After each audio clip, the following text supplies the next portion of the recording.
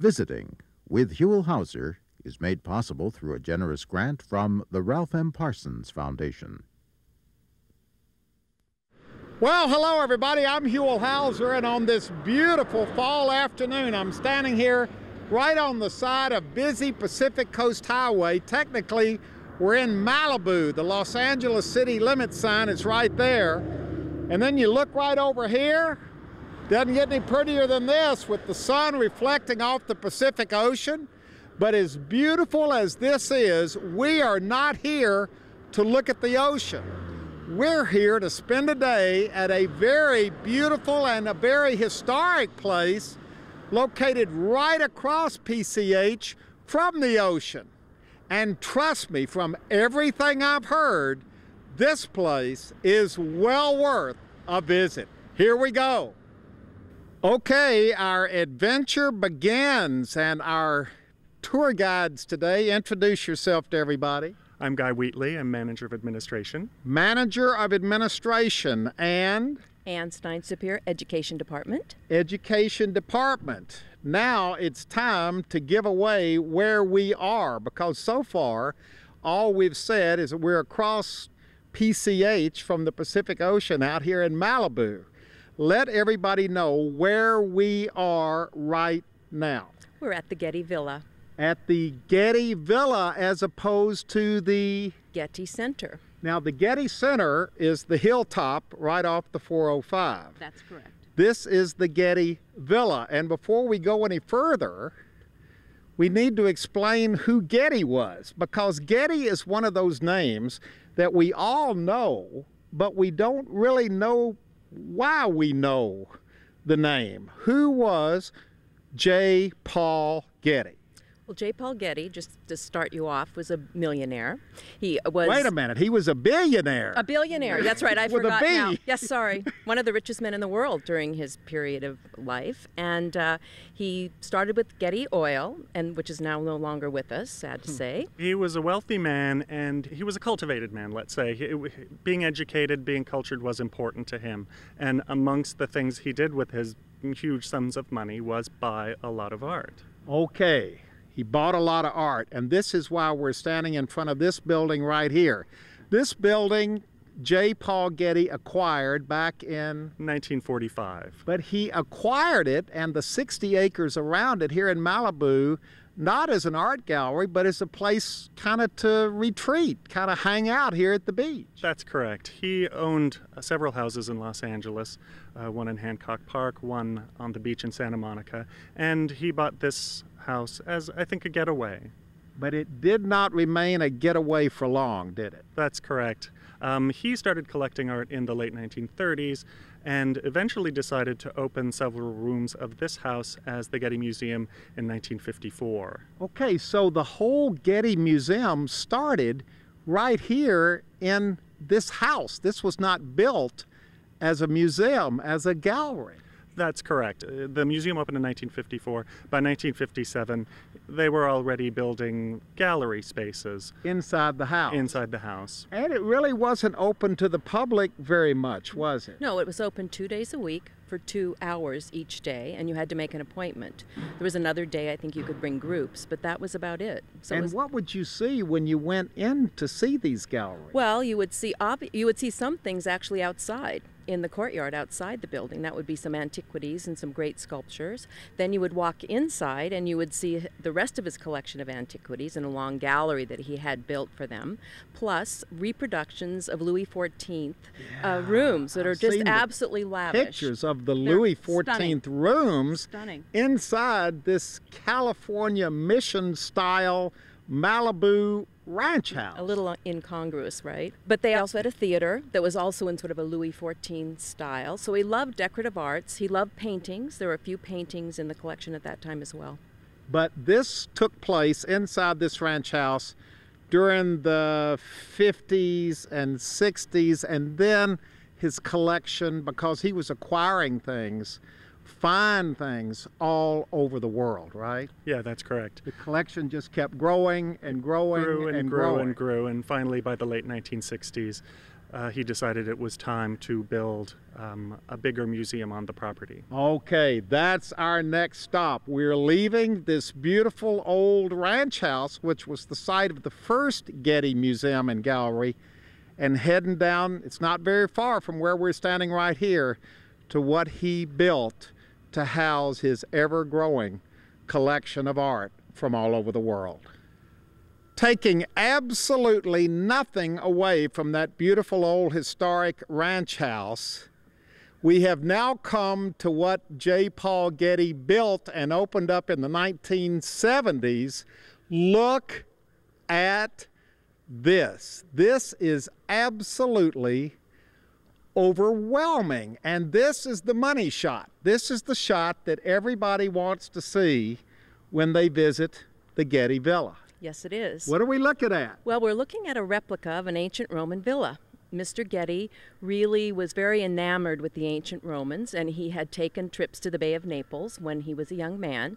He fell in love with a particular villa called the Villa dei Papiri in Herculaneum on the Bay of Naples in a climate much like ours in now, Southern this California. Isn't the, this isn't the original villa. I mean, he didn't buy it and transport no, no, here. no. He had his builders get a hold of the architectural, the archaeological uh, plans. He brought it here, and he had his builders replicate it. So it's really a replica of the Villa dei Papiri, except one difference is that this long, what we call a peristyle court, because of the columns around, was parallel to the coast in Italy, and it's perpendicular to our coast because it fits in our little valley. See the mountains Mm-hmm. up here, and he owned all of this acreage That's around right. here. So the setting was perfect It was for perfect. this as well. And perfect climate. I mean, it's really a Mediterranean climate in Southern California. so Can we walk around? What what kind of an impact did this have when it opened up out here in 1974 and people walked in here for the first time and saw something like this because this is absolutely spectacular. It is spectacular, and I think most people were just overwhelmed by it.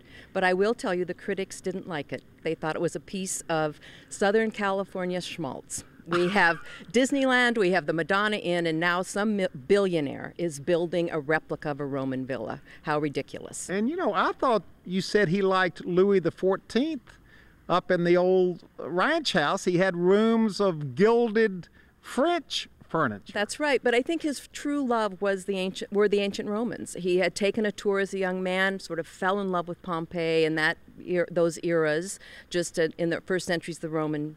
Uh, first centuries of the Common Era, and I think he fell in love with those buildings. Look at them. I mean, gracious and beautiful for entertaining, covered walkways and very elegant, beautiful paintings on the walls. And look at this pool. Now, what was the deal on the pools? Was that traditional back in what what period of Roman history are we talking Well, we know it was destroyed in 79 AD.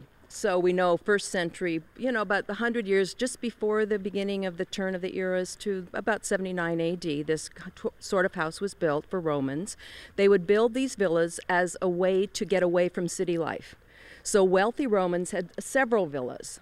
This would wait a minute. This was a house. this was a house. This was a home where people came like you go for a vacation.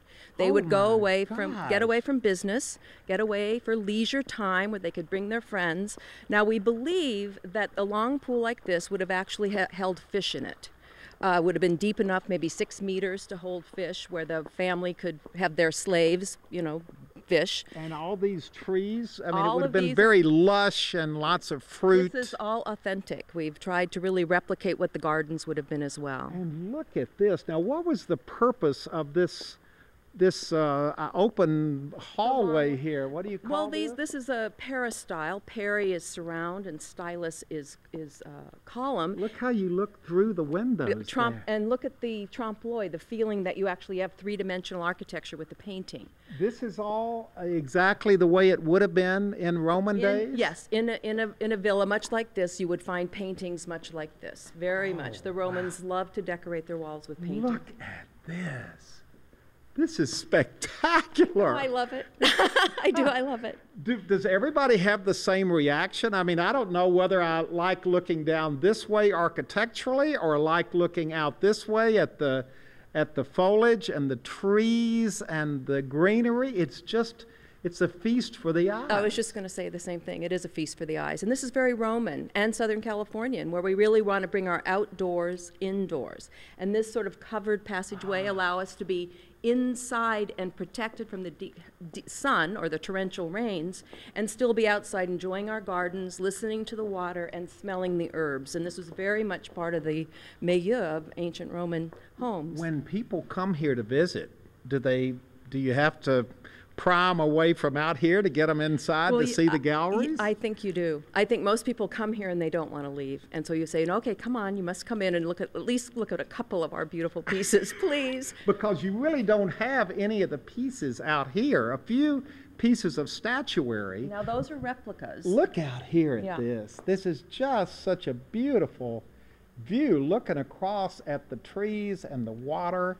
It's just spectacular. Yeah, it is. I'm so Now- glad you love it. Well, has anybody ever come here and not fallen in love with this? See, I'm one of these people, I'm guilty. How many years have I lived in Southern California? I've never been to the Getty Villa.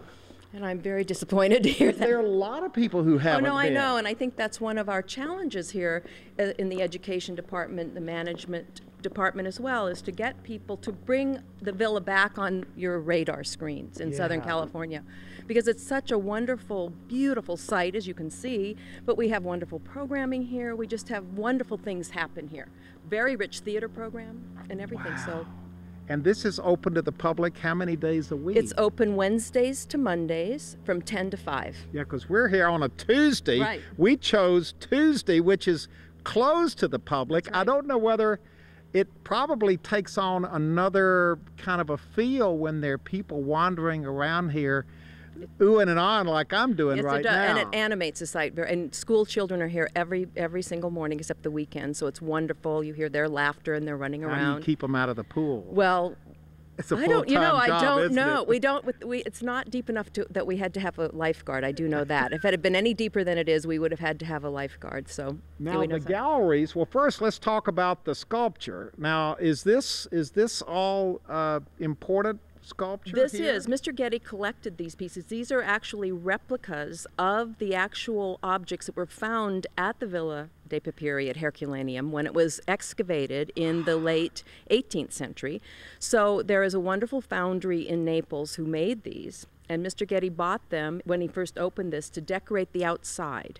So we have replicas on the outside, but really authentic art on the inside. because this is just you know this garden, and you say this is exactly the way the garden would have been Yes. in Roman times. Yes. hmm So part of the whole idea of having a villa, and see, there's your Pomegranate. pomegranate and roses, Roses, and the hedges. oleander. All of this was part of the whole sense of place in these villas. Mm-hmm. That's correct. Absolutely, because they really wanted to get away from the business, their business lives, and get out into this area where you really can relax.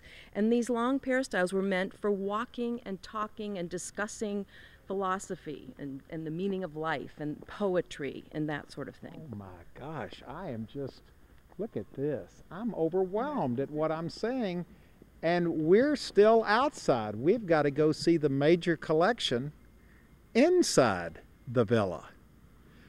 Now we're going inside the main, would this be called House of the Villa? That's it's the villa. The villa. It We're is the going villa, inside yes. the villa and mm-hmm. look at this. I was excited about the gardens, about the outside.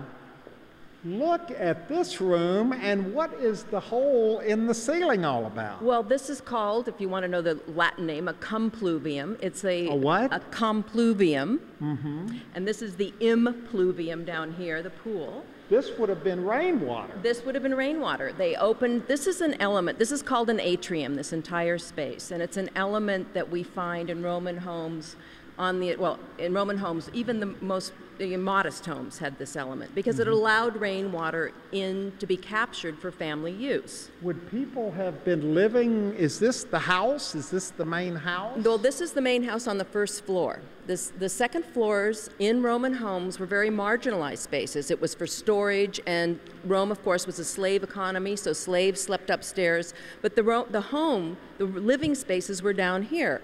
And in many homes, the little galleries that we've converted to galleries would have been bedrooms.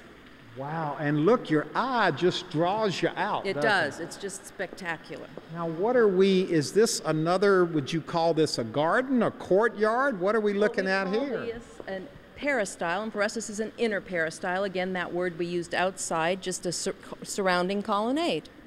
And you're waiting here for us to tell us about this thing. Yes, Get me excited about this because, well, it's not going to take much because No, it's it's a this is pretty spectacular. It's a gorgeous space. It's the center of the museum, really. Um, gardens are a huge part of the experience of visiting the Getty Villa.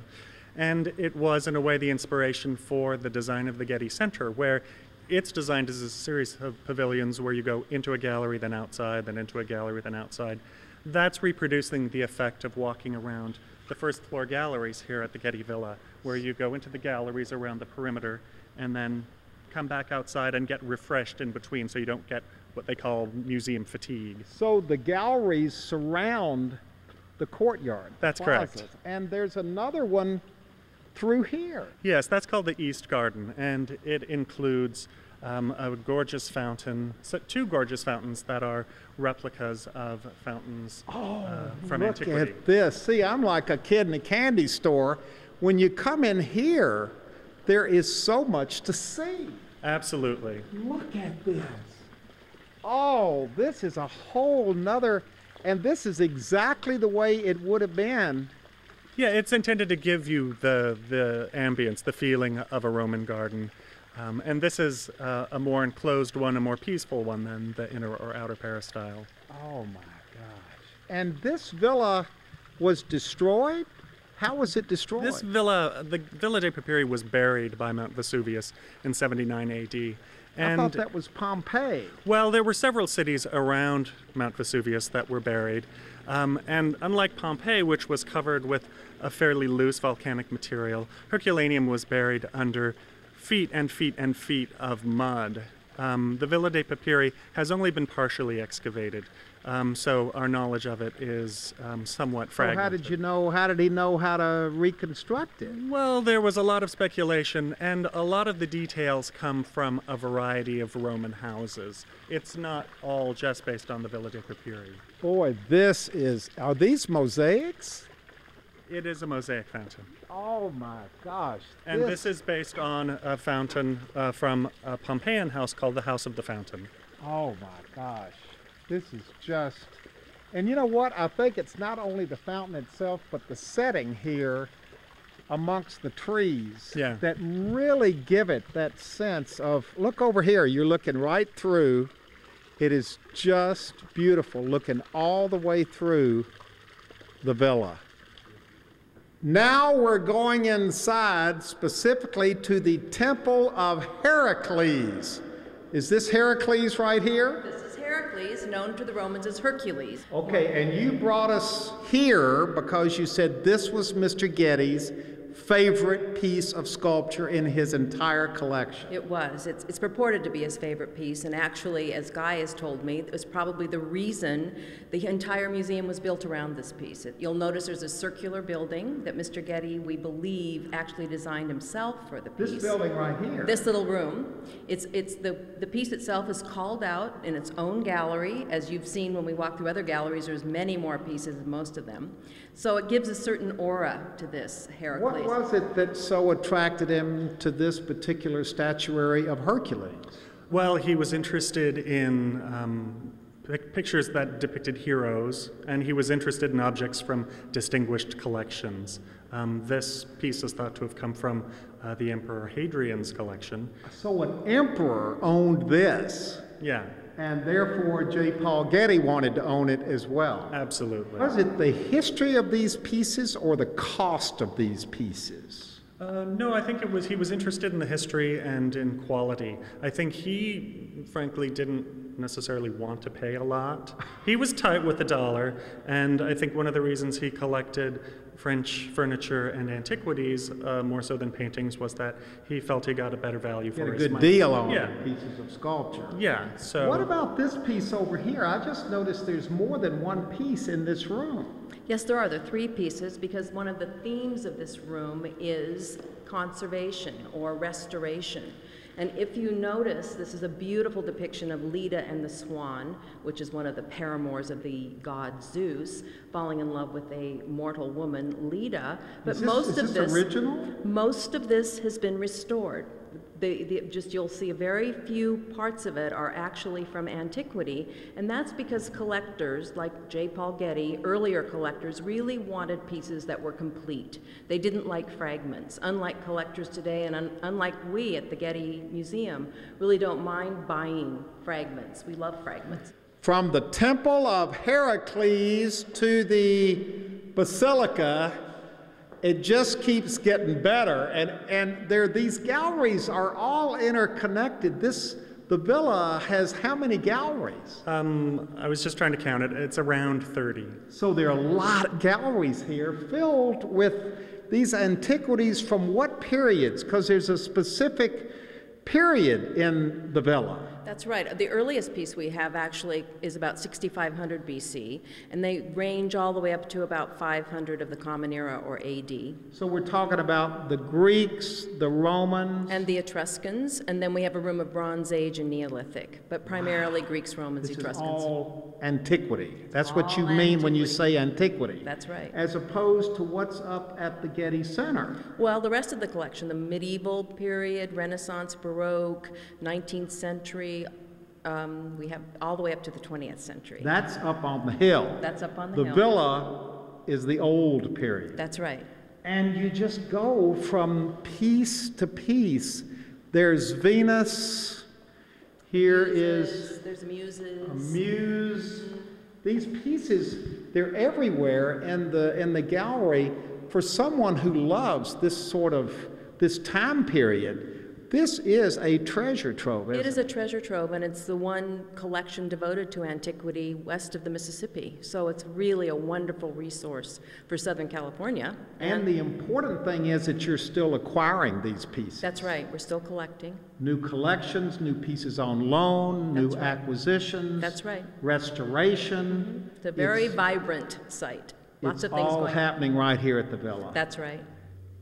Well, we've been amazed and surprised at everything we have seen here at the Getty Villa today, but this tops them all. This is the most amazing thing, the biggest surprise, I think, of the whole tour.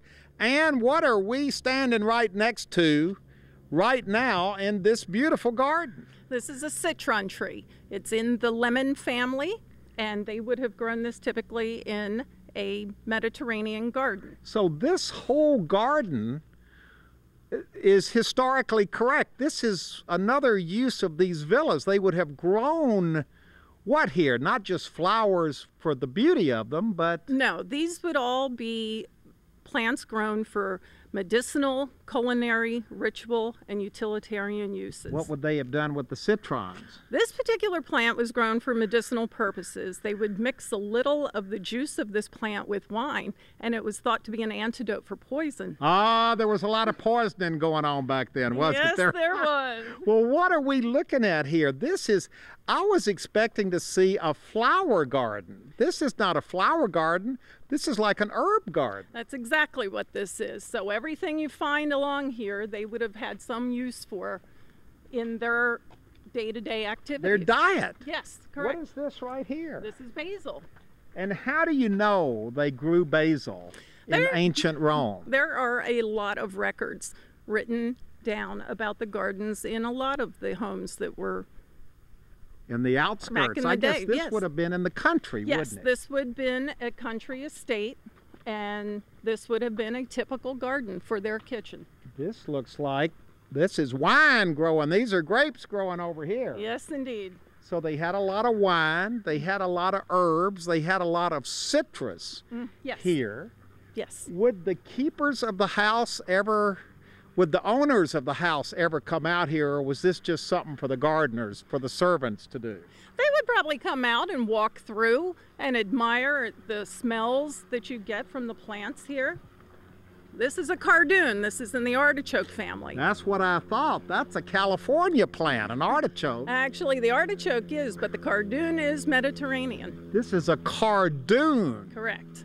And it looks just like an artichoke when it grows. Wow. And here's your obligatory fountain Yes. right here. Even in the herb garden, even in the functional herb gardens, Well, we like they had fountains. beauty. So when people come to the villa, this is kind of tucked off to the side. Do they find their way here? Do they know that this is part of the Getty Villa experience? We have a wonderful education department and docents that do garden tours. So they'll bring you out here and go through all of the different plant material and tell you what the uses were for everything. So Because when you go to the Getty Center up on top of the hill, it's more of an ornamental garden. Correct. Flowers, blooming flowers, and you know things that make a real statement. correct. This makes a statement in a historic way.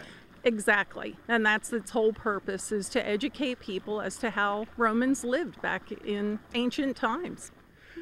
Well, we're ending up back out here. This is my favorite, although it's hard to choose what my favorite part of the Getty Villa is, but we're here on a Tuesday, which is ordinarily closed to the public. We're taking the tour today, but the work at the Getty Villa never stops, does it, Ann? No, it does not. We have people here every day. There's always something to do. Lots of weeding and manicuring and making sure these gardens are just as beautiful as they ever were. But the gardeners are just part of what goes on out here day in and day out. Well, that's right, Huell. We have conservators here, we have curators here, we have educators here, we have registrars here, we have designers here, we have administrators here, whole kit and gu- We have caterers here. We have visiting scholars here. We have a conservation training program here. There's a lot going on out There's a here. lot going on. Right. How many people come through the Getty Villa every year? This year, we're going to have somewhere between 350 and 400,000 visitors. This is amazing. I'm almost embarrassed. Well, I am embarrassed to admit that I've never been here before, but I'll be back. This is one of those places that grows on you, isn't it? It absolutely is. We Because hope we've- you come back. We've seen a lot, but there's a lot more to see. Oh, yes. I was thinking as I was just talking to you about how much I'd like to tell you even more. So, Yeah. yes, it never ends. Yeah, this wonderful place, the Getty Villa. This all started up there at the ranch house back in the 50s. It's grown into this and to the Getty Center up on top of the mountain. There's a lot going on with Getty these days, and it's all good. And the beautiful part of it is it's all here for all of us to visit and enjoy. We've had an absolutely wonderful day at the Getty Villa.